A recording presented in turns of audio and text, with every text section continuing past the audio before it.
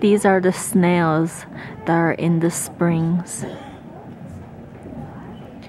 They are now a protected wildlife and they are unique at the Cave and Basin.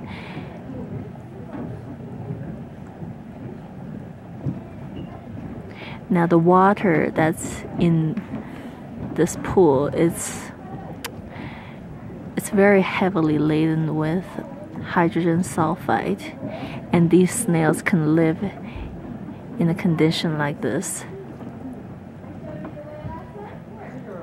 Adaptation, evolution.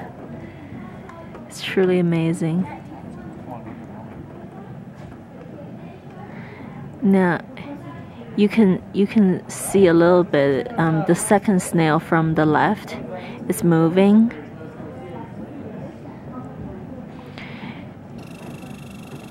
Their actual size are almost as big as the popcorn kernels. Yes, so they're quite small.